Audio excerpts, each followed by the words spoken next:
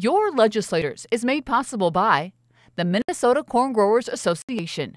From developing best practices that help farmers better protect our natural resource to the latest innovations in corn based plastics, Minnesota Corn are proud to invest in third party research leading to a more sustainable future for our local communities. Minnesota Farmers Union, standing for agriculture, working for farmers. On the web at mfu.org.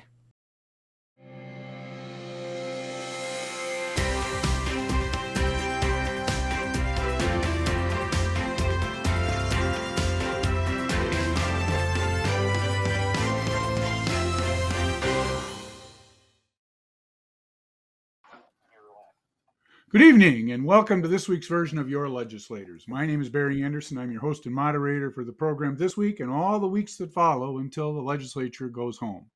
This is your opportunity to ask questions of your legislators, and you can do so by sending your questions in to uh, our program via email at yourtv at pioneer.org, or you can also do this by way of uh, the old fashioned telephone, 800 726 3178. That information will appear on your screen periodically as we go through our program this evening. We begin this evening, this week, as we do each week, by introducing our distinguished panel of guests. We're grateful for their uh, attendance this evening. They'll help us unravel the mysteries of St. Paul. And let's begin with Senator Mary Kunesh from District 41 of New Brighton. Senator Kunesh has been with us on multiple occasions in the past. Tell us, tell our viewers a little bit about yourself issues that are of concern in this legislative session. Introduce yourself generally to those who've tuned in this evening. The floor is yours.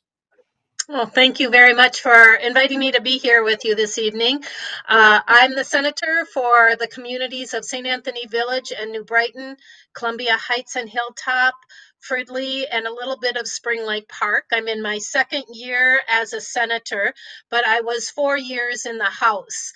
So um, I had a little bit of experience over there, and um, I'm uh, really thankful to have these opportunities. I was a teacher for 25 years and just retired about a year ago as a library media specialist. So issues of education and literacy and access to resources is um, you know really really important to me especially as we are trying to navigate still through this pandemic and um, our teachers are doing just the very best that they can to uh, to ensure that our kids um, you know are still getting something as best they can. And so we really appreciate those uh, teachers and administrators and everyone else from the bus driver to the uh, food service folks who who keep the schools running.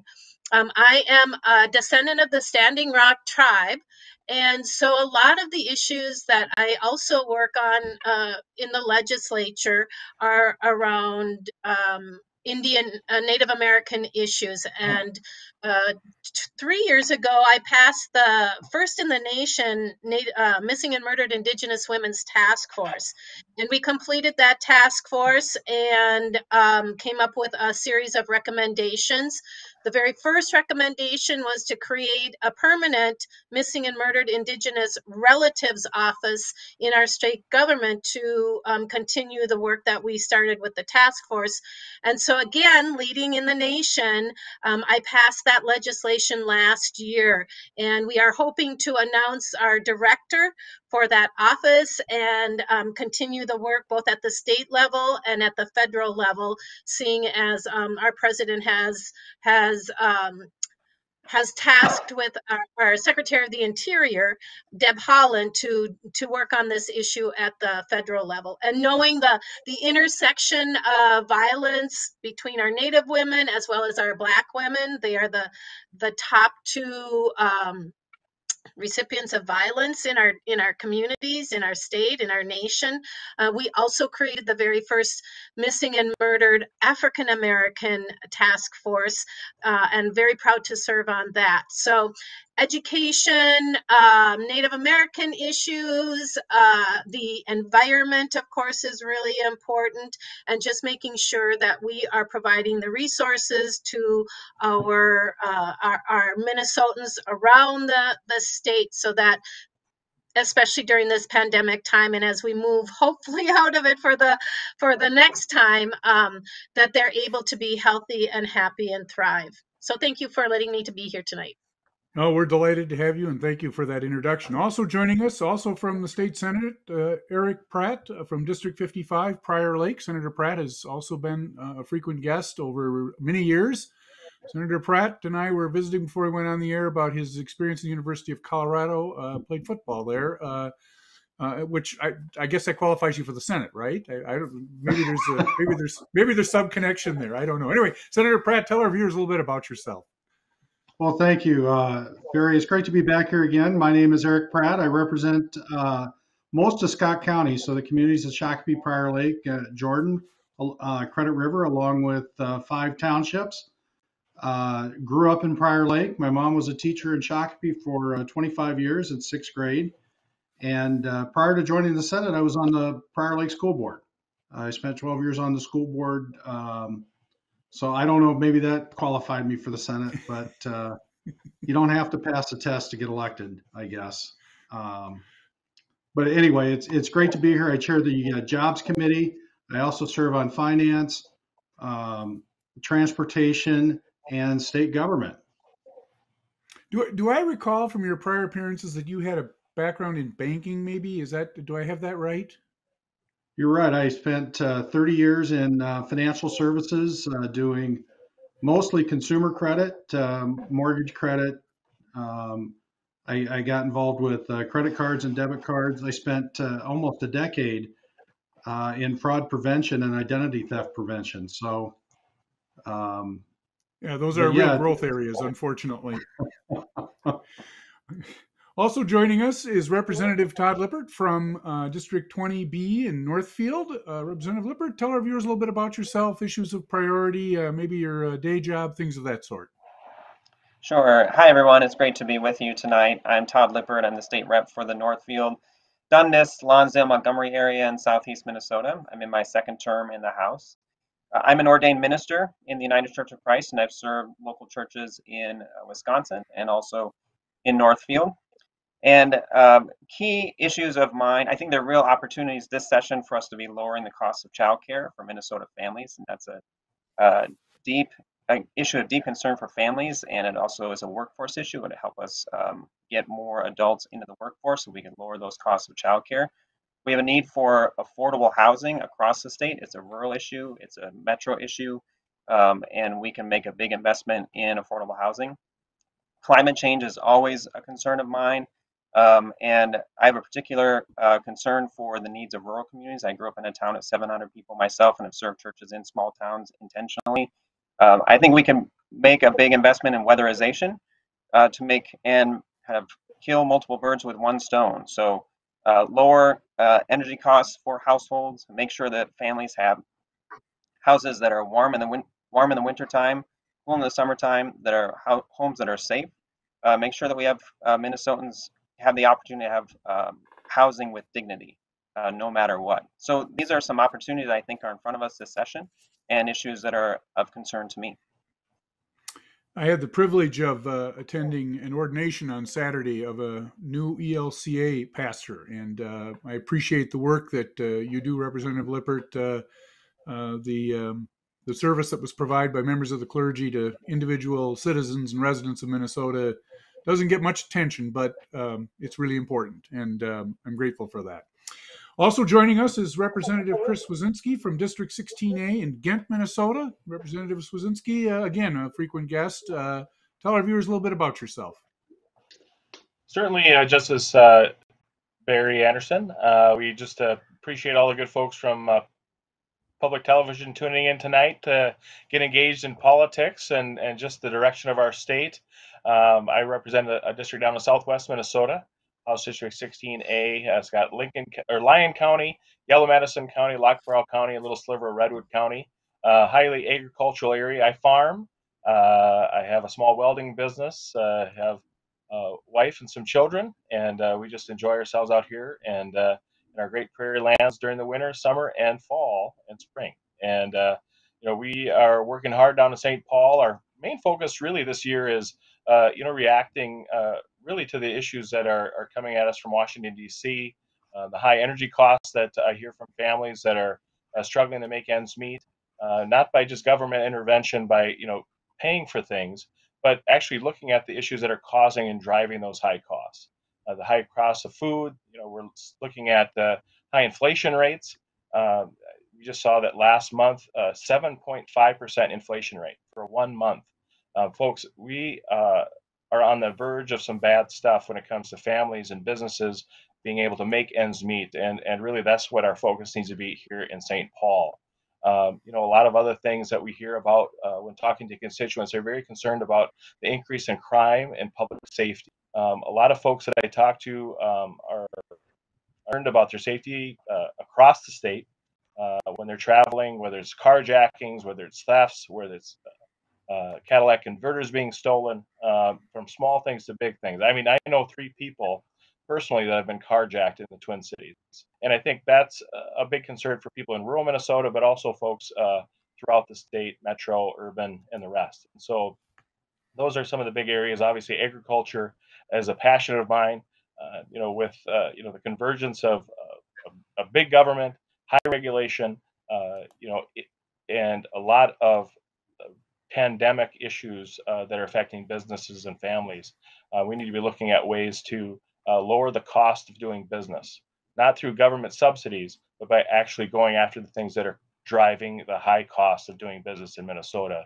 And one of the major things that we can do, and we can really just do it next week, uh, we can focus on the uh, unemployment insurance uh, that's about to really start hitting our small town businesses all across the state uh, with heavy loads of increased taxes. And the state legislature can step up right now uh, and help alleviate the problem that it caused. And so those are the issues I think we really need to focus on. And uh, we got a lot of work to do, a lot of great ideas. Uh, one of I first learned uh, when coming to St. Paul is there's a big difference between having an idea and a good idea. And so it's our job to sift those two out and, and, and do the best job we can. Well, very good. Well, let's go right to the questions that our viewers have provided us. I warned our panel we we uh, we had a little uh, dry run on one of these inquiries, and uh, I warned our panel we'd probably start there. And no sooner do I say that, but a second uh, a second viewer uh, has a similar question. So a viewer from Nicollet County and from that famous Minnesota county uh, unknown uh, both have the same issue that they'd like to have us visit about, wondering what the plans are for dealing with chronic wasting disease, what will be done to stop the spread and protect deer, and another and, and uh, our other viewer has a very specific inquiry about a specific bill uh, that addresses the need for compliance on chronic uh, wasting disease.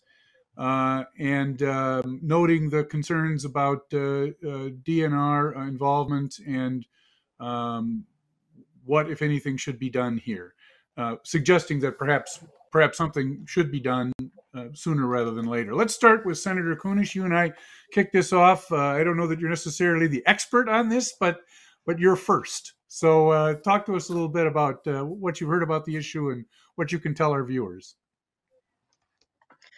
Well, what I know about chronic wasting disease, and no, I'm not a, a deer farm uh, farmer, nor am I a deer hunter, but I know plenty and have plenty of families. And this isn't a new issue for Minnesota. Uh, when I was in the House, we had uh, champions like crazy, like um, Representative Hansen and Representative Becker Finn, who recognized the um, the the threat that this chronic uh, wasting disease has for our our deer and actually for agriculture when you think about it.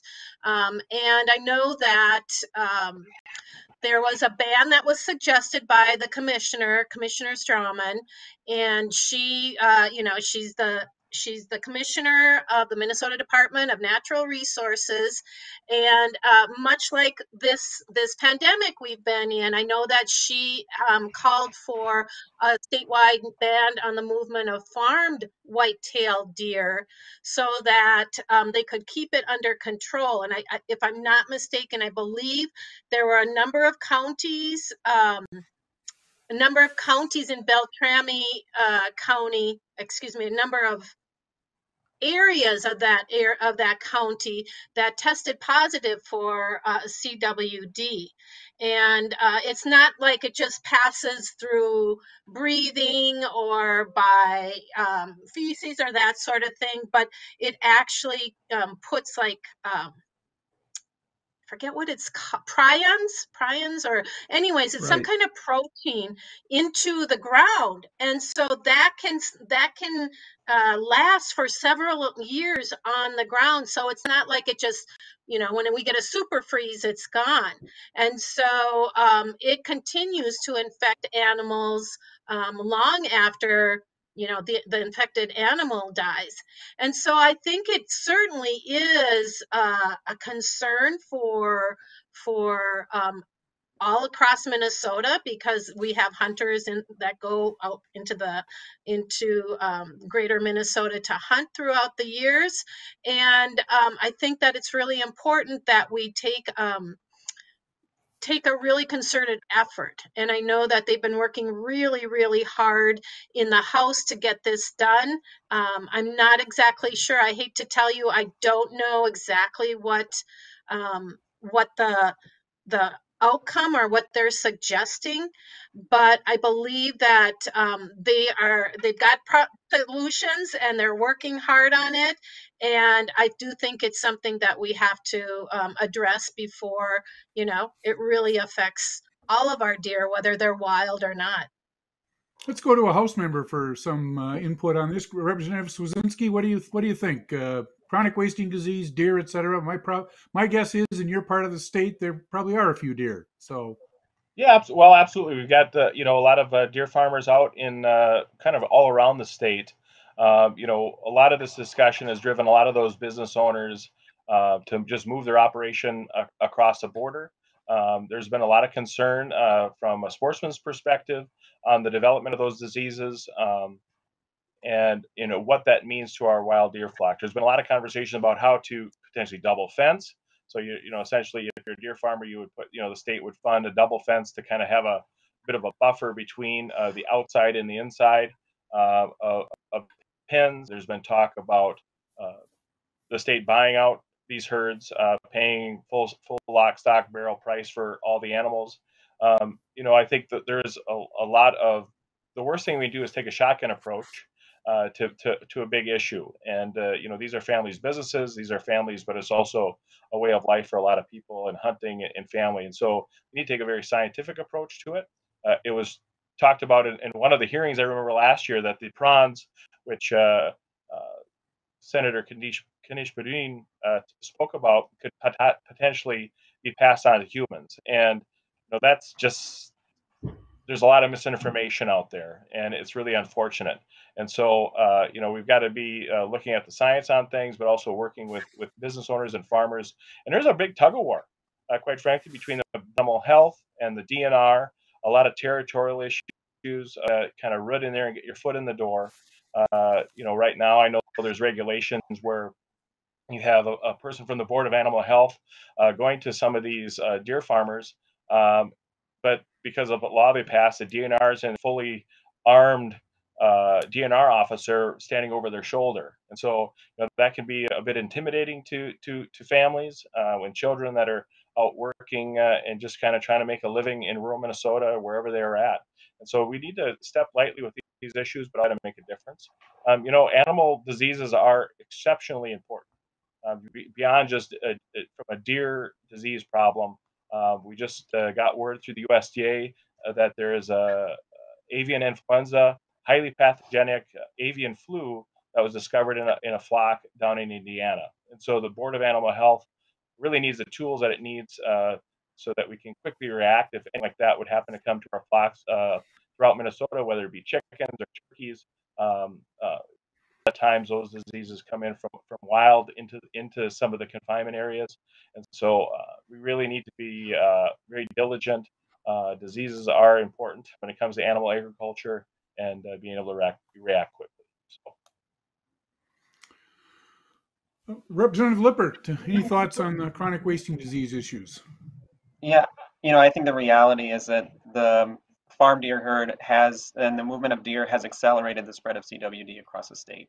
And it really puts our wild deer herd at risk. And so, um, at minimum, we we have to have a moratorium on the movement of deer Uh, unfortunately, there have been some deer farmers that have not been responsible actors, and so we've seen CWD spread very quickly from one part of the state to another, and um, we that that has to stop. And, and, there's a very serious conversation now about uh, buying out these herds. There aren't that many uh, deer herds, but there are so many hunters across our state, and it's such an important tradition.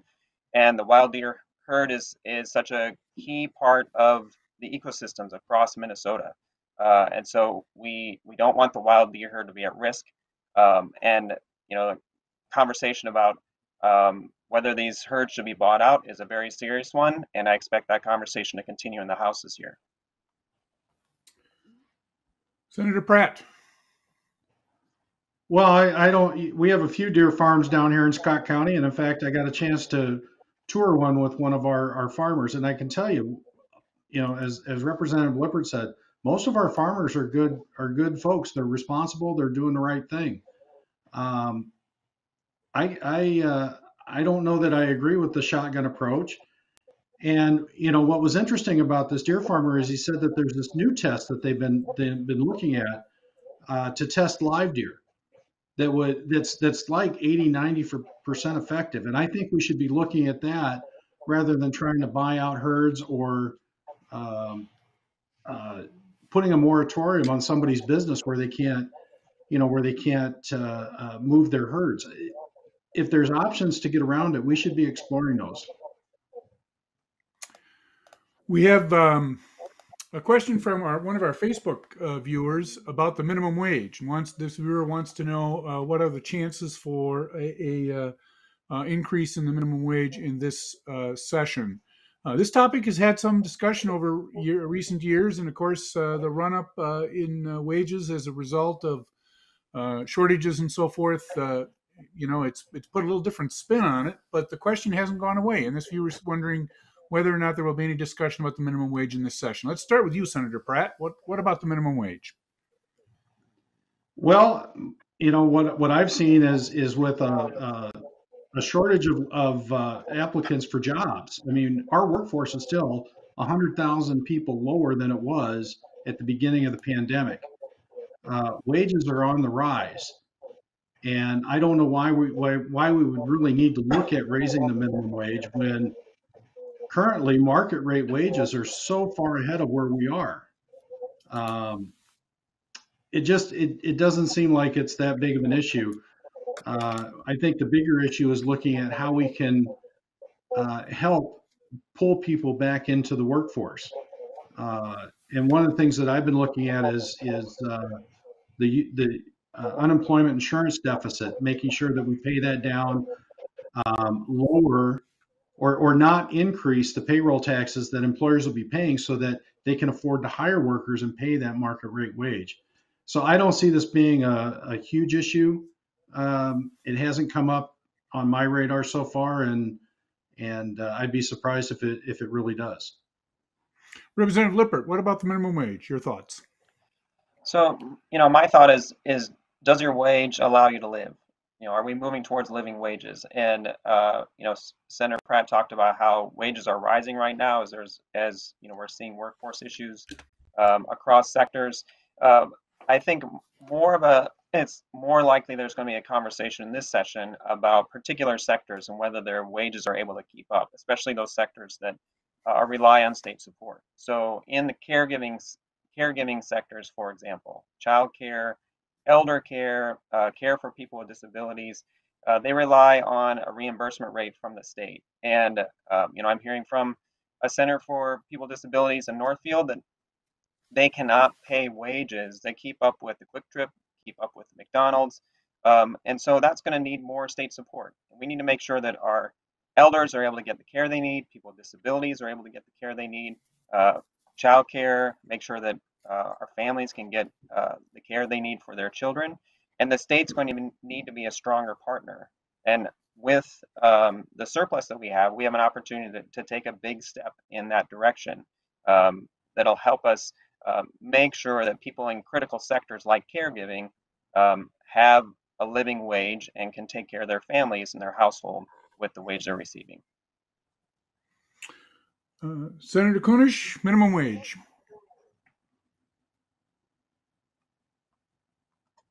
Unmute myself here. Uh, Now, this I- this is uh, we, not- you can't get through a program without somebody saying you need to unmute yourself. It's a, it's a Zoom Yep, requirement. I don't want to be. I don't want to be that person. Okay, I'm just not going to be that person here. Um, but I think, um, if I'm not mistaken, I think that there was an increase in the minimum wage um, that that adjusted for inflation as of January 1st. But the really, and that sounds great, you know, this automatic increase, but um, it's still only like $10.33 an hour for large employees and only $8.42 an hour for um, other uh, uh, employees. And so I don't quite understand how uh, anybody could live on on that. And so while it might increase um, through inflation, it certainly hasn't kept up with inflation, just as Senator or um, uh, Representative um, said that it it it uh, that the um, oh I lost my train of thought. Oh, that inflation has gone up so high in just a month. So um, we haven't been able to to keep up with that in a way that um, really allows a family or a person to live uh, in a dignified way, just as Representative Lippert said. And so I think that um, I don't know that we will be dealing with that um, minimum wage because employers are recognizing that they have to pay those top wages in order to attract and retain those employees. Um, I think folks are coming out of the pandemic realizing that they've got a lot more options than they had before. Um, they can explore new avenues of, of employment or profession. They can go back and get retrained in different ways. And so um, I think it's just really important that we are looking for ways to ensure that Minnesotans um, are are um, participating in a really strong economy that works for everybody. And that means, of course, um, making sure that there is childcare and that um, those folks that uh, are providing the child care are adequate, adequately and safely compensated. It means, um, you know, perhaps some some um, really strategic tax cuts for families like middle income, lower income families that are trying to uh, pull themselves out of this pandemic and, you know, looking at their options in the future. Um, so we have to look at a lot of different things that are going to allow our families to thrive coming out of this pandemic. And of course, housing and healthcare um, and of how we're going to help um, our schools all of those things are going to make a big difference uh, so i don't know that that we will be addressing the the minimum wage but um, certainly not something that we we ever forget about Representative Swedzinski, the minimum wage. Your thoughts on that? Well, I certainly hope we don't do anything with the minimum wage. Uh, you know, the question really asked, will you raise the minimum wage so that this uh, questioner can help uh, make ends meet? And I think that's very concerning. Um, and it should be concerning to all the legislators, the governor, um, and also the Biden administration, uh, because we've seen huge amount of inflation. We talk, well, this needs to keep up with inflation. Uh, seven seven and a half percent in one month uh, when it comes to the increased costs of, of living uh, whether it's gasoline, whether it's utility bills, whether it's your groceries, whether it's a gallon of milk, um, whether it's uh, just the basic things to make life go. And our government, our federal government, is printing money on an unprecedented scale trillions of dollars, trillions and trillions of dollars over the last few years. And that is the, the fruit of that labor. And there is decreased value in those dollars that we're getting. So you can say, well, we're just going to raise the minimum wage. Look what we did. But the cost of living is going up a lot faster than those dollars will ever be able to keep up to. And whether it's money consumption and inflationary issues, with the cost of gasoline to get to work, um, you know, there are a lot of jobs available that pay 20 and 30 dollars an hour. The biggest issue we have is do our skill sets with folks that are looking to move up the scale match the jobs that are available uh, in those particular areas that are going to pay more. You know, I went to school for welding. I could go up the street any place. I could drive within 50 minutes of where I go and probably find 25, 35 to 50 dollars an hour uh, without much trouble at all.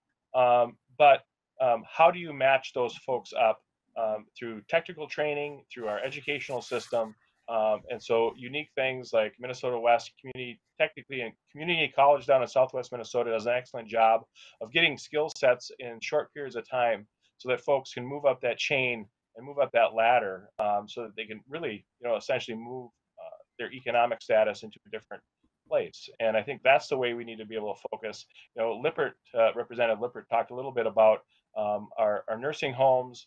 Um, that that is a crisis. Um, the folks that work in our nursing homes and our, our group homes, uh, working with folks that are disabled and elderly, uh, that is tough work.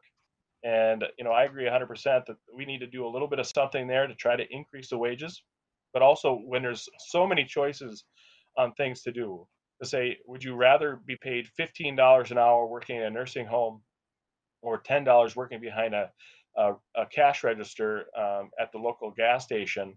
Um, a lot of folks are saying, well, I'd still rather just work behind just because of the less stress, less pressure um, in those types of jobs. So, you know, that training and and that ability to move up the chain, I think, are, are, are big parts of that. But, you know, an arbitrary number um, for a minimum wage, I think, is just quite frankly foolish um, at this point in time. We've got uh, taxes raising uh, on Minnesota businesses if we don't uh, eliminate this unemployment tax that's going to be hitting businesses to the point of 2.7 billion dollars across our state, um, that's going to erase a lot of economic opportunity for Minnesotans, regardless of pay. Uh, all I'll say about your um, welding career, uh, Representative Swedzinski, is that I very nearly failed seventh grade shop. Mr. TC was not impressed with my uh, uh my tool skills, and so uh, you you are earning every dime of uh, of that money that you get welding. we're very happy to have you there. So uh, it's an important skill. Representative Lippert, I want to go back to you. Uh, we have um, uh, we have a viewer from Edina that wants to talk about. Uh, she's a he or she is a resident of a long-term care facility there, and they're wondering about legislation that might be moving forward in this session dealing with long-term care facilities, nursing homes, and so forth. I think part of it is. Uh, the topic that Representative Swedzinski mentioned with respect to compensation, but I think it's broader than that in terms of opportunities for people. And, and uh, um, I think this viewer is concerned that uh, residents of uh, long-term care facilities sometimes are forgotten. So, Representative Lippert, let's go to you to start with. What, uh, what, if anything, can you share with us on that topic? Well, we need to make sure that um, everyone is valued um, at every stage of life, and we need to make sure that we're valuing our, our elders. And um, making sure that they can access the care that's needed and that we're valuing those who are providing that care is is key to that. Um, you know, I, uh, you know, we've had plenty of challenges through the pandemic, and uh, long-term care has been a, a very difficult place um, these last couple years because of COVID. Uh, you know, I think I will be having some uh, had some conversation this session, carrying a bill uh, related to making sure that that in future pandemics that um, people in res in nursing homes will always be able to have access to a primary um, loved one that that loved one can visit them with with uh, making sure that they have are following proper protocols when they're in the facility. It's going to be a recommendation of the long-term care ombudsman uh, because we know that loneliness is also a severe health concern and mental health concern, and we were seeing that in heartbreaking ways um, in our nursing facilities. Um, at the same time as as Department of our Department of Health and other departments of health across the country were doing everything they could to uh, limit the spread of COVID and keep people alive within nursing homes. Uh, so we've seen such difficult challenges. Um, but going forward, hopefully, you know, we're on the um, we're glad to see that case numbers are falling rapidly because of uh, the uh, peak of the Omicron wave. Hopefully, going forward, uh, we can be focused on focusing on um, wages in nursing homes to make sure that we're valuing the caregivers who are providing that care. And I think as we're dealing with workforce shortages, which are going to keep happening because of a demographic shift, we're going to have to be really focused on areas where we need people, and caregiving is one. And we're simply going to have to value the people who are providing care, and uh, the state's going to need to be a stronger partner in providing uh, reimbursement rates and wages there. Um, and so making sure that we have a workforce and care facilities is going to be key. Senator Pratt, nursing home issues. Your thoughts? Well, nursing well, home and extended long-term care. Yeah, Go ahead, I'm they're sorry. crucial. Uh, I serve on the board of uh, St. Gertrude's here in Shakopee, and we run uh, a long-term care facility, a rehab facility, memory care, assisted living, um, and our biggest issue is finding people to, to come to work. I know Senator Abeler's working on a package of, of proposals uh, to help attract people to the uh, uh, to the long-term care nursing home uh, uh, facilities, um, retention bonuses, you know, help with training. Um, he'll be rolling that out, I believe, next week sometime. And um, I think, you know, our caucus is excited about it. I mean, this isn't a greater Minnesota. It's not a, a metro. It's it's not a, a, a DFL or a Republican issue.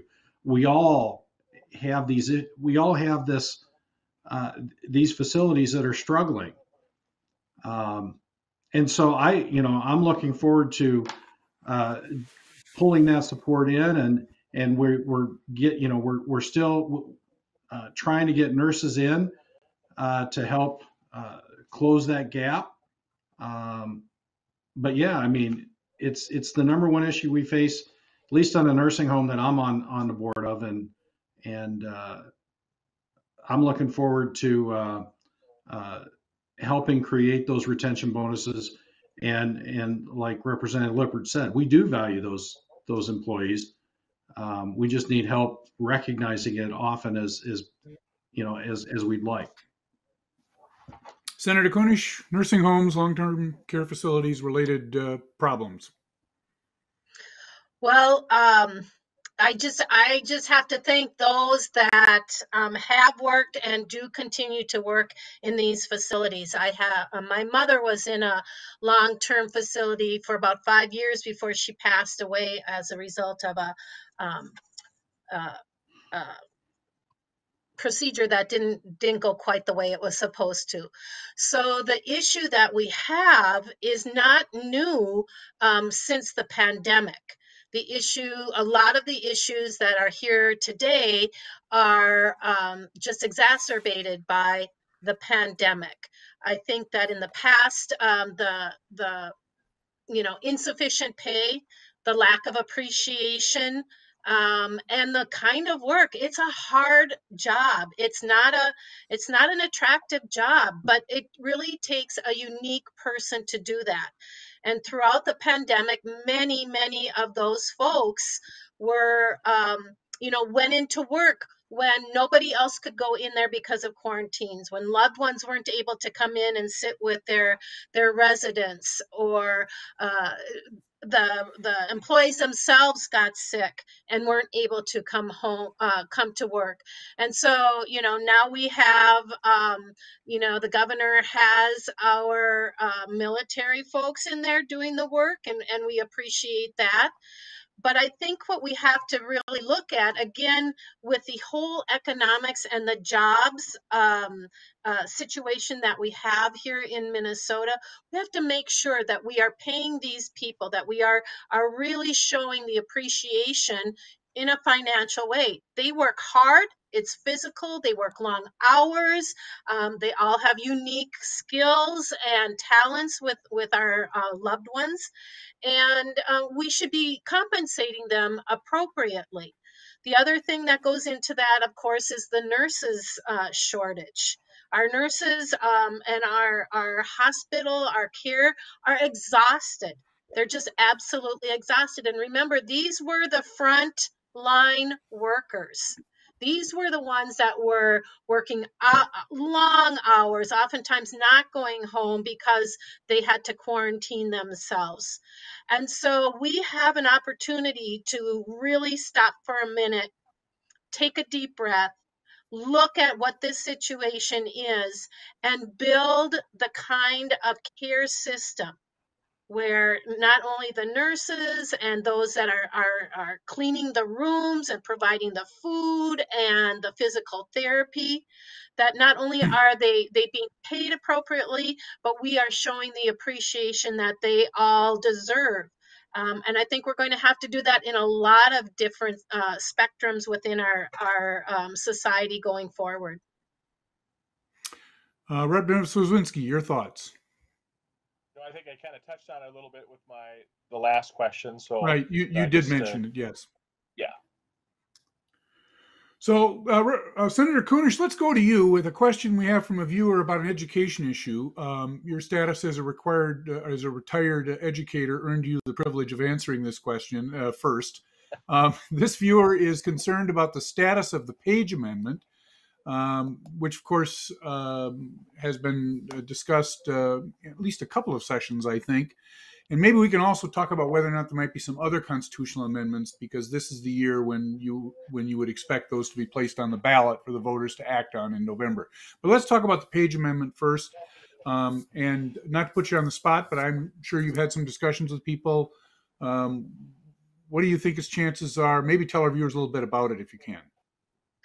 Well, um, the first thing I know is that um, um, Chair Chamberlain says no, and uh, he is the chair of education, and therefore he will be uh, the one that decides what gets heard and what doesn't get heard in our education committee. And I don't, uh, I, I, from what I understand, I, he is not in favor of this amendment. And um, what this amendment does is basically is just changing the language. It's a constitutional amendment that will change the language um, that. Oh, I, if I could remember um, what our Constitution says, our Constitution says it's our responsibility to provide. Um, um, is it an adequate or a, a good education, right. public education? and um, he uh, the amendment changes that word um, in a way that I don't really feel it makes um, any difference. Changing a constitutional amendment um, by changing a word to say, um, oh gosh, I, am sorry, I don't remember exactly what it was, what it is, but um, I, I, this is, it is our responsibility as a legislature to provide the funds to educate our kids in a public education. And we have never adequately um, paid for, fully funded our education. And now here we have a surplus. So let's go ahead and do that.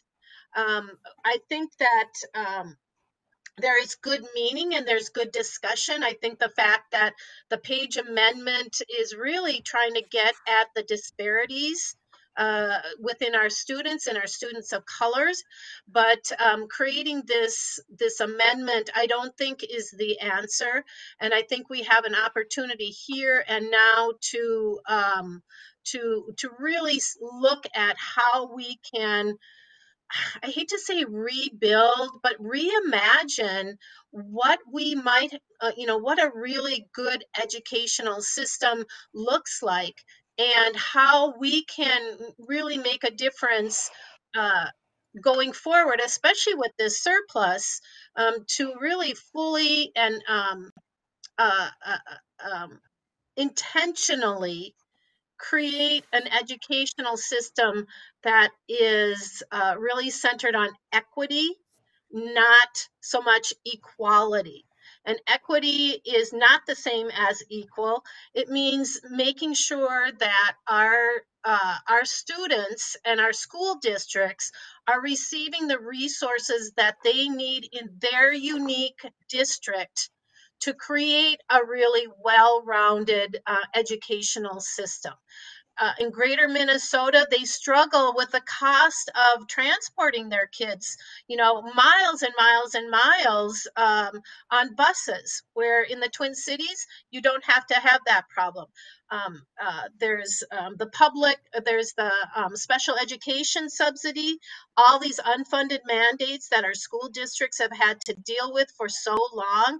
We have to stop doing that to our school districts fully fund it and make sure that that the resources are going to be there for um, for our students especially coming out of this pandemic when there's going to be a lot of uh, variables um, and trying to meet our students where they are Representative Lippert, your thoughts on the uh, Page Amendment and any other constitutional amendments you think might be likely?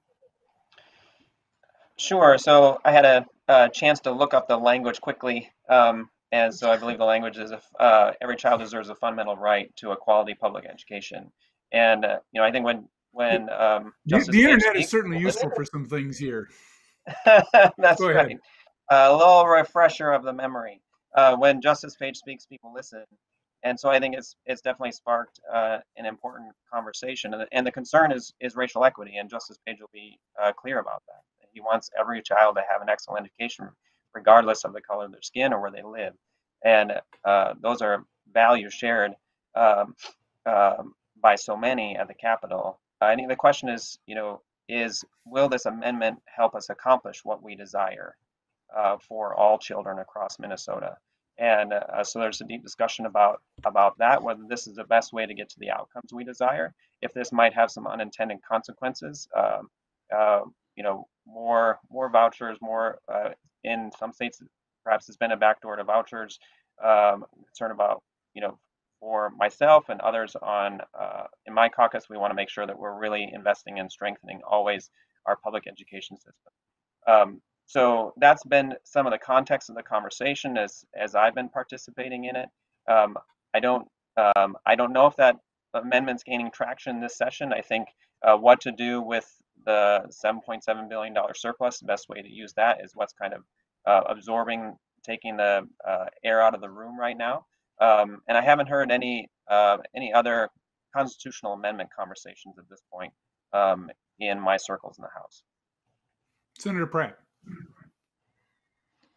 Yeah, well, I mean, this is this is a really hot topic. Um, you know, as as Representative Lippert said, the the language talks about uh, you know a, a, quality a quality education a quality public education as a civil right, and I really like the idea that that we're focusing on quality rather than the system. Uh, that's putting the kids, you know, putting the kids first. The concern I hear from parents is the wording around uh, public education and whether or not that allows for school choice. What does that mean for homeschool parents? What does that mean for private school students? It's um, and and that's that's some of the concern that I'm hearing uh, school choice, when we talk about equity, school choice is maybe one of the the best things that we can we can do. Um, we've talked to parents in Minneapolis who uh, would be able to move their kids if they had the means to do it. Somehow we allow school choice for families with the means to afford it, but for low and middle income families that that can't, they don't have that same option. And I think that's immoral. I think every student should have access to a quality education that meets their needs because not every not every student is meant to uh, fit within the the same uh, the same system. And I say this as a son of a public school teacher and someone who is a public school advocate. I, I support our public school uh, system. I served on the school board for 12 years. Uh, I'm not trying to undermine public schools at all. I'm trying to say that we need to be able to focus on the needs of the student first and making sure that they're successful in the classroom and making sure that we still have the ability to have parents and, and community involved. And one of the things that we've seen through the pandemic, and as we've seen this shift from in person to online to masking and not masking, is more parents are opting to homeschool or find private schools than they are the public option. And that's what makes this idea of choice within the Page Amendment so very important. Representative Swedzinski, your thoughts? Page Amendment related issues. Well, you know, I, I, I, kind of agree with some of the sentiments. I don't think the Page Amendment is going to probably get the traction it needs to kind of make it over the hurdle. Uh, you know, I think the passion behind uh, uh, Mr. Page and his supporters is is in the right direction, right? Uh, mm-hmm. What do you do to close that achievement gap between uh, folks of color uh, and try to bring folks together? Because you know we all understand that uh, you know building a building on strong foundation is the best possible way to build a building, Well, building a life on a strong education is uh, one of the best things you can possibly do with your life. And you know, ch- uh, being in a challenging, uh, uh robust educational system uh, with strong standards, strong uh, expectations, not just for students but for educators, I think we've gotten away from that. I mean, I just read an article a couple weeks ago talking about how Mississippi, who spends probably half of what we do here in the state of Minnesota on education is actually finding success in closing the achievement gap uh, with their urban students uh, and the rest of the state. And so, you know, what we need to be doing is this might be a good chance for a very broad approach to say is is the changing the Constitution going to fix it? But uh, is allowing parents to have a say in the child's education, uh, whether it's public, whether it's private, whether it's homeschool, and what does the state's role play in that? And I hear from a lot of parents. Uh, there was a Wisconsin uh, state legislator just the other day saying, well, if parents really want to say in their education, they should just pull their kids out of public education and homeschool them or uh, send them to private school. Well, the parents I talk to do want to say. And it's unfortunate that the Department of Education, uh, the uh, National Association of School Boards, uh, has labeled parents who want to have a say in their children's education, called them domestic terrorists. And that was approved by the Biden administration. And I have not heard a word of uh, from Governor Walz and his ability to push back against that uh, policy that they pushed forward falsely.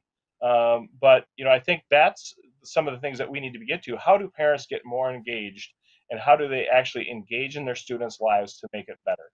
And it's not by shutting them out of school board meetings. It's not about uh, a lot of those issues that we hear all about day in day out. And you know, the school, uh, I know the teachers union is against the Page Amendment, and that should maybe tell you a lot. Um, you know, if you're stuck in an urban school that is failing, and you don't have the money to homeschool, and you don't have the money to send your child to private school, and you don't have the money to bus your child to Edina because they're already full, you like this amendment. You like an opportunity to challenge the system because the system that exists that is controlled by powerful interest groups is failing kids. And uh, we really need to challenge it and be willing to step out of our, our support base and, and push back against special interests for what's best for children across the state. So we have about five minutes left, and I, I, think this next question may chew, may chew up most of that five minutes. A viewer wants to know whether or not we really have a surplus, um, given the uh, unemployment fund shortages and other things. Um, we have to lay on top of that the announcement from MMB today that uh, uh, uh, tax receipts were up substantially. Um, so maybe we can be maybe we can talk a little bit about what the extent of that surplus is, uh, how much of it is long term versus one time money, uh, and um, maybe a little bit about what the priority should be going forward with any of the with any of that surplus. Let's start with you, Representative Swedzinski, uh, and then we'll go around the table. And I think that'll probably take our our last few minutes here. The floor is yours.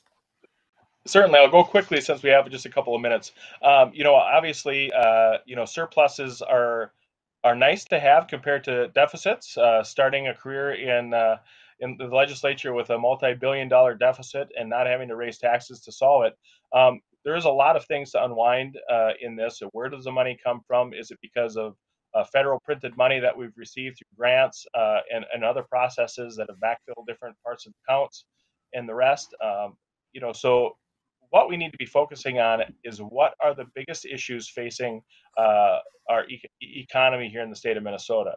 And the chances of taxes rising on businesses that are just trying to make ends meet, the chances of uh, families that are seeing high costs in energy, high costs in food, high costs in uh, just making their lives live um, needs to be our top priority. Uh, and returning dollars back to them uh, in the way they pay them in taxes. I think if we can see some some very targeted uh, tax relief on those who paid taxes, uh, I think will be a, a, lot better boost to our economy and and help uh, us in the and the next generation move forward. Representative Lippert, your thoughts? Sure. So um, uh, my colleague in the House has been talking about inflation quite a bit. You know, I just want to share that what's really driving inflation is the pandemic.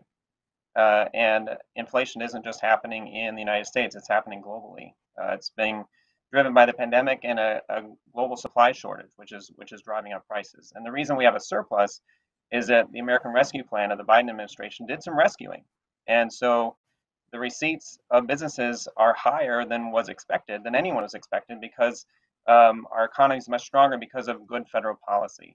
So now the question is, is what do we do with this opportunity we have? And we still have great needs in our state. Um, families are struggling to afford childcare. There are families that are paying as much as $30,000 for childcare, which is just hard to fathom. How, how is that sustainable at all? So my my focus and the focus of my caucus is is on uh, families and workers, and want to make sure that we're really meeting those uh, those deep needs. Um, you know, the unemployment trust fund is another seconds. part of the com- oh, another part of the conversation. Um, as long as we're focused on workers at the same time, we can um, we'll be engaging that conversation. That's going to be it for this evening's program. I'm sorry we didn't get to our last two guests on what to do with the budget, but we'll have you back in weeks ahead. The budget, the surplus will still be there, and we'll have a chance to talk about it then. Uh, I want to thank all of our participants, and I want to thank our viewers who called in with so many great questions this evening. We hope that you'll join us next week and all the weeks that follow for your legislators. Thank you, and good night. Your Legislators is made possible by the Minnesota Corn Growers Association. From developing best practices that help farmers better protect our natural resources to the latest innovations in corn based plastics, Minnesota corn farmers are proud to invest in third party research leading to a more sustainable future for our local communities.